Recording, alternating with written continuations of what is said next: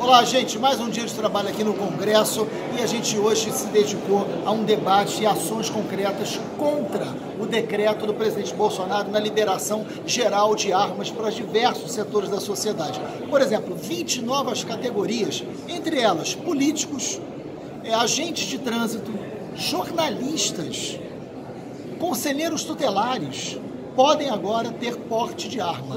Isso é um completo absurdo, não há nada que justifique isso. Há uma pesquisa importante do IPEA que diz que a cada 1% de aumento de utilização de armas na sociedade, os homicídios crescem em 2%. Quanto mais arma na sociedade, mais violência. Esse decreto permite, por exemplo, que crianças tenham acesso a clube de tiros, desde que seus pais concordem. A gente quer criança, Bolsonaro, nas escolas, de onde você está tirando dinheiro. Pela educação pública, com mais democracia, vão às ruas.